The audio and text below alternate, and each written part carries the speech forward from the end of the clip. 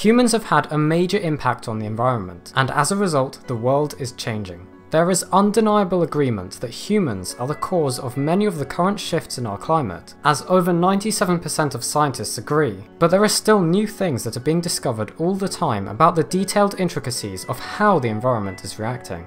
Although we know what the cause is, there still exists much to learn about how exactly a single species can change nature so much. This brings us to the topic of this video. If humans can have such significant effects, in what ways do other animals affect the environment? As we will investigate, there is a fascinating connection between living things and the world around us. As conditions change, organisms change too, and this can lead to some quite unexpected consequences.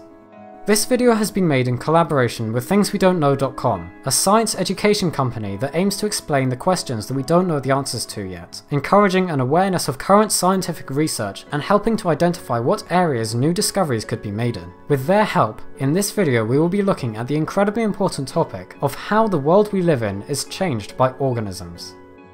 One of the best examples that can be used to illustrate the innate connection of living things to each other and the environment is the occurrence of trophic cascades. These take place in nature when a predator affects the population or behaviour of their prey, and in turn this has an effect on the prey of their prey. It's therefore a cascade as the impact of the predator generates changes in the population of a trophic level two spaces beneath them. There is only a cascade if a minimum of three levels are affected, and most commonly this is how they occur. However, it has been known for cascades of more than three levels to happen, even up to five in some rare cases. Trophic cascades can take place in all sorts of environments across the world, and have some perhaps unexpected consequences for many different organisms. Often there's even a cyclic effect to the cascades, as the predators that initiated the changes eventually end up becoming affected by them themselves. Since humans are known to kill off top predators of various ecosystems, whether directly or indirectly, there are also concerns over just what kinds of consequences this will have in the communities they're a part of.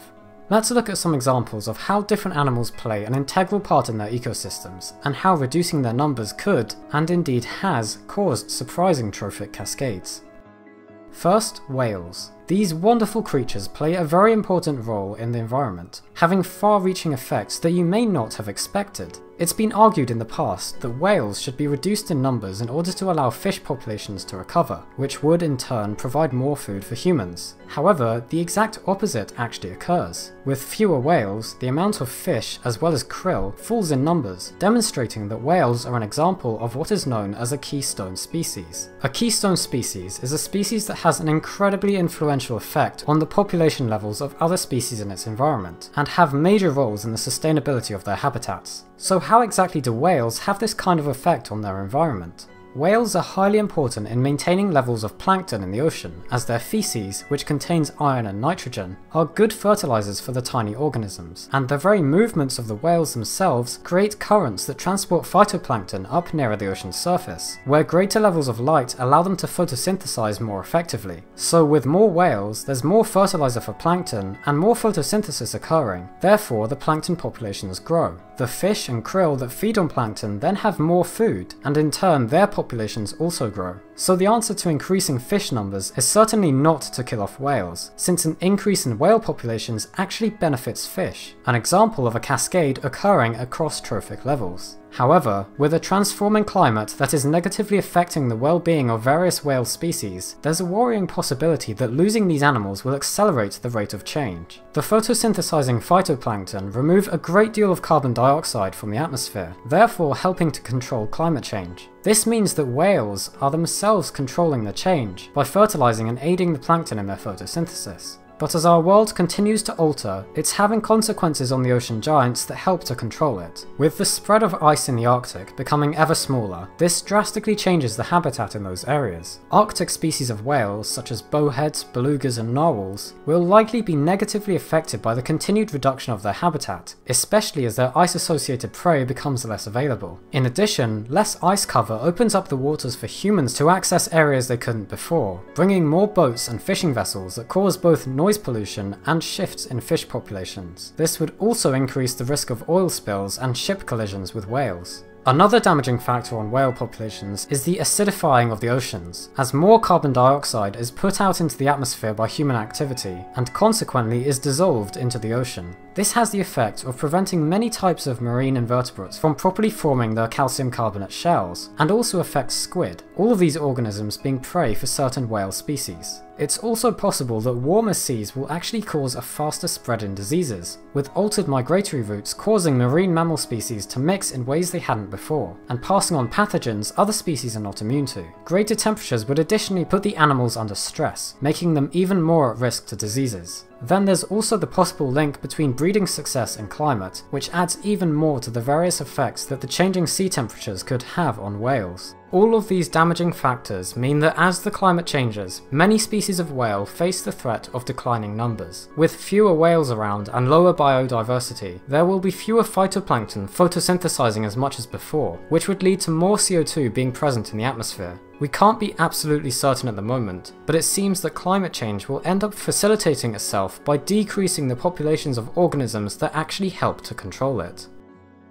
One of the most well-known examples of keystone species causing trophic cascades is the eradication and subsequent reintroduction of grey wolves in Yellowstone National Park. The range of these animals used to stretch all across West North America, from Mexico to Alaska, but once the main prey of the wolves were diminished during the late 1800s, they were forced to prey on livestock, which did not go down well with the farmers of the time. In the year 1872, the Greater Yellowstone ecosystem was established as a national park, and at this point there were between 300 and 400 wolves present in the area. The animals mainly hunted bison and elk, and there were concerns that this predation would be too damaging on their prey's populations. Therefore, an eradication program was initiated. Grey wolves were gone from Yellowstone by 1924, and gone from all lower 48 states by the 1930s. Once these predators had disappeared from Yellowstone, all sorts of trophic cascades occurred, showing grey wolves to have been an integral part in maintaining the conditions of the ecosystem. In the absence of their main predators, the populations of elk increased greatly, and with more elk, this meant more of the animals grazing on plants, causing the plant populations to decrease. This drop in plant abundance meant that various other species, such as certain birds and beavers, were also affected, and even some trees began to have problems reproducing. This led to much habitat loss, and even changed the physical shape of the rivers in the park. Without as much plant life providing stable banks with their roots, the rivers became less straight and shallower, driving off all kinds of wildlife that did not suit the new conditions. Then, the Endangered Species Act of 1973 came into effect, and grey wolves were one of the animals that made it onto this list. As part of efforts to restore their numbers, a small pack of wolves from Canada were relocated to Yellowstone in 1995, an action that led to some truly incredible effects. To begin with, the wolves began to cut down the elk population once more, which allowed some of the plant life to recover. More trees could grow, encouraging greater biodiversity and providing food for other animals that soon returned, such as birds and bears. Since the wolves also caused a reduction in the numbers of other predatory animals such as coyotes, there were now even more smaller animals, for example mice and rabbits, which in turn meant that different and more varied predators returned to the area. These predators included raptors and foxes, further increasing the biodiversity and returning the park closer to its previous conditions. With the return of the wolves and all these trophic cascades going on, the physical landscape even managed to recover, the rivers that had become shallow and more winding now had stronger banks thanks to the richer plant life and their stabilising roots. Many aquatic species such as various fish, otters and ducks therefore came back too. These remarkable consequences of the disappearance and later reintroduction of one species once again illustrates the connectedness of our ecosystems. Although more study is needed in many cases to confirm the detailed effects the wolves had, it's nevertheless clear that these particular animals are crucial to their habitats. A very small number of individuals managed to have such a huge impact on where they lived, even causing changes in the physical shape of the land. There's another group of animals that also have a great deal of important effects on their ecosystems and general biodiversity.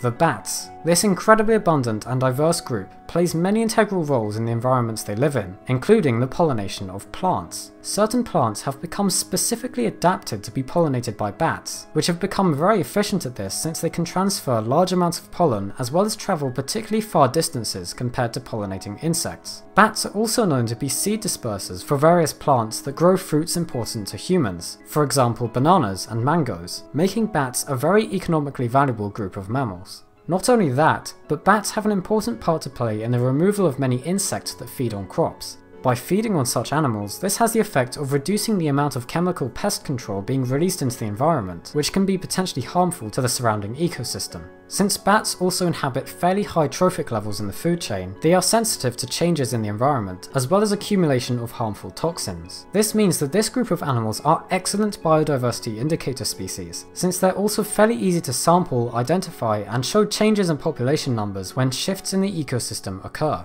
Because bats are capable of flight, and therefore have large ranges that they move around in, they are also helpful for determining what damage is being done over various different areas, and at what kind of scale.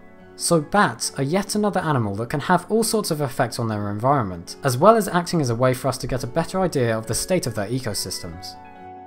There is still much to uncover about the specific details of how exactly certain organisms change other living beings around them, and in turn their physical environment, but it is clear that they can have significant impacts. The studying of trophic cascades will undoubtedly lead to all sorts of new discoveries in ecology, and hopefully grant us a better idea of what impacts our own species is having by altering the populations of other organisms. I hope this video has been able to show you the incredible connection that different creatures have to each other and the world around them, and that it's certainly not just humans that can have far-reaching influences on the environment. As we mentioned at the beginning, this video has been made with help from Things We Don't Know, a science education company based here in the UK. It is the goal of this organisation to create a place where all the questions that science is still finding answers to can be collected, in order to help increase public awareness of them and to aid researchers in finding topics that are currently being investigated. This place is the website thingswedon'tknow.com. Here you can find an easily accessible and extensive list of all the scientific mysteries and currently unanswered questions that are being worked on, with links to places that are studying them and references to relevant sites and publications. Things We Don't Know really says it best themselves. There are two distinct aspects to science, learning about what science has discovered and discovering new things. We feel that scientists tend to concentrate on explaining the things we already know, and rarely explain the things we don't. We are dedicated to explaining the questions to which science still seeks answers. I highly recommend that you go and have a look at their website if you haven't already. I'm sure you'll find something there that will interest you, since learning about the things we don't know and the research being done to discover the answers to them is one of the most exciting parts of science.